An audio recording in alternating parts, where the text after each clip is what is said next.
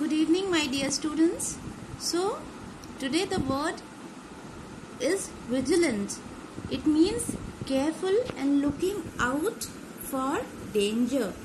So, what does it mean in Hindi? Satark or Savdhan. So, this is what the situation demands now. So, we are affected by uh, the whole world is being affected by a pandemic that is coronavirus. So, we need to be vigilant this time so that we can be out of danger. And today we will learn about the cursive C.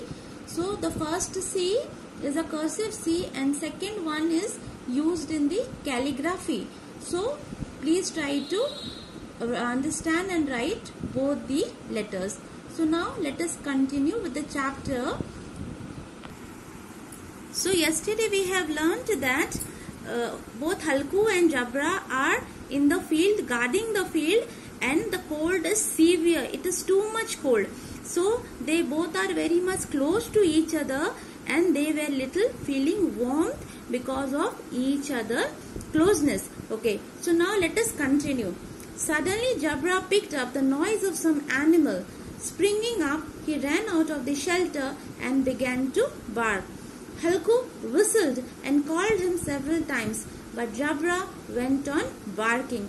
So here again we have seen that they were somehow comfortable but all of a sudden Jabra heard the noise of some animals. So it ran away and it was continuously barking and Halku was calling him back. So here ends the second part. Let us continue with the third part. Another hour passed the night fanned off the cold with the winter. So one more hour passed in that cold night and with every passing hour the cold was increasing. The cold wind was increasing. Halku sat up. It seemed as though eyes rather than blood filled his veins. So this sentence simply makes you to try to make you to understand how bitter the cold was. It was as if the blood is also becoming ice. Inside the vein, there was not blood, it was ice. So it simply tells you how bitter the cold was. He leaned back to look at the skies. How much of the night was still left? The dipper had not yet climbed half the sky.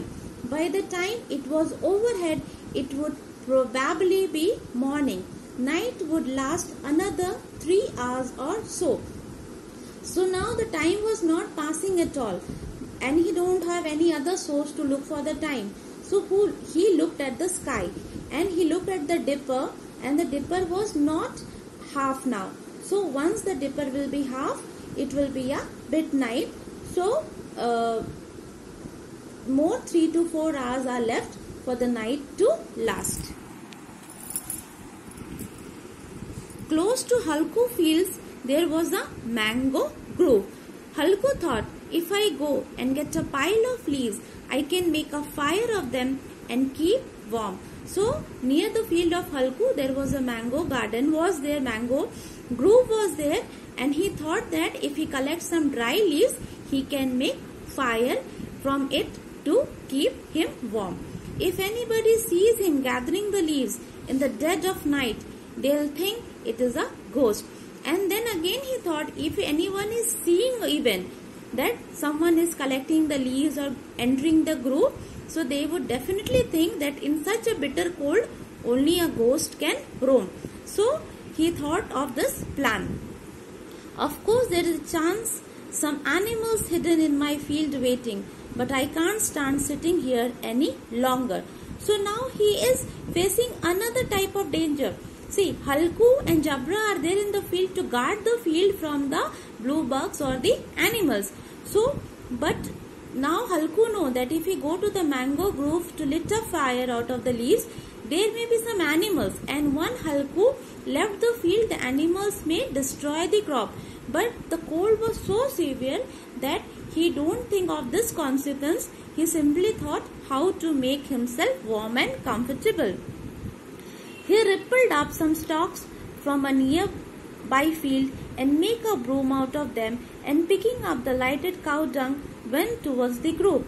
Jabra watched him coming and he ran to him wagging his tail. So now he rippled up some stalks. Stalks means uh, students uh, stems, stems of the crop. So out of that stalks, stems, he made a broom. So now and after picking the broom, he picked up a little cow dung, the burning cow dung and then he went to the group and Jabra also followed him. Halku said, I couldn't stand it anymore, Jabra. Come along. Let's go into the orchid and gather leaves to warm up with. So now Halku cannot bear the cold at all. So he thought of this plan and he asked Jabra to come with him. When we are toasted, we will come back and sleep. So here toasted. What we toast actually? The bread. So toasting means getting something crispy or warm. So here Jabra, uh, sorry, Halku and Jabra, they were feeling severe cold. So the only thing they need now is the warmth. So he told that when they will be little toasted here means warm up. So when they will be warm up, Halku said we will return back to our field and sleep. Under the tree, it was pitch dark. The bitter wind blew, bluffing the leaves and drops of dew dripped from the branches. Under the tree, it was pitch dark. So, students, pitch, what is a pitch? It is a tar a liquid which is used to make a road. You must have seen many a times. So here the darkness of the night is compared to the darkness of the pitch. We have already discussed in the poem Adventures of Isabel. So here also under the tree it was very much dark. The bitter wind blew. So the wind was blowing very harsh and the buffeting the leaves and dropping of the dews dripped from the branches. As the wind was blowing, the leaves were also uh, flowing or blowing. And then again, we know that during the winter season, from the trees, the dews are dropping down from the branches. Jabra had found a bone and he was chewing on it. Halku sat on fire down on the ground and began to gather the leaves. In a little hours, he had a great heap. His hands were frozen, his bare feet numbed. But he piled up a regular mountain of leaves and by making a fire out of them, he had burnt away cold. So now Jabra has found a little bone and he has he was busy eating it while Halku collected the dry leaves from the mango groves and he lit a fire. And once the fire was lit, he was feeling warm. In a little while, the fire was burning branches and the flickering light, the immense trees of the grove looked as though they were carrying the vast darkness on their head. So now, in a meanwhile, by the time the fire was very high, so touching the branches, burning the branches means the fire, the flames of the fire were very high because he has made a high heap of leaves. So the flame was burning very high and it was touching the branches even. Halku sat before the fire and let it warm him. After a while, he took off his shawl, then spread out both feet as though challenging the cold to do his worst. So here, after a while, Halku was warmed by the fire and now he was very much comfortable. So slowly, slowly what he did? He took out his shawl even and then he spread his feet. So what does it mean? It is showing a situation here. First Halku was feeling bitterly cold and now when he has warmed up the fire, he was somehow relaxed and warm. So now slowly, slowly he was uh, getting more and more comfortable. So now it is a line is written challenging the cold to do its worst. So now he is having a source to fight against the cold. So Halku was feeling very relaxed and it was looking though he is challenging the cold to get more severe because now he is having a fire to confront the cold.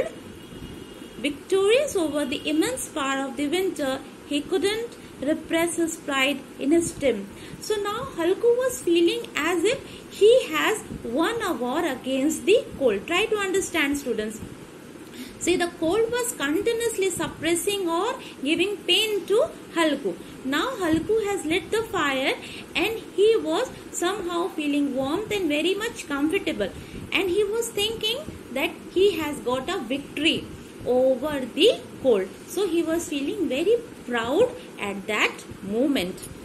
He said to Jabra, Well, Jabra, you are not cold now, are you? Jabra back, barked as though to say, How could I feel cold now? So now here we can see that Jabra and Halku both were feeling very much comfortable when Halku lit the fire. So students, we will stop up till here. Just one more paragraph, one more part is left. Tomorrow we will continue and we will finish the chapter.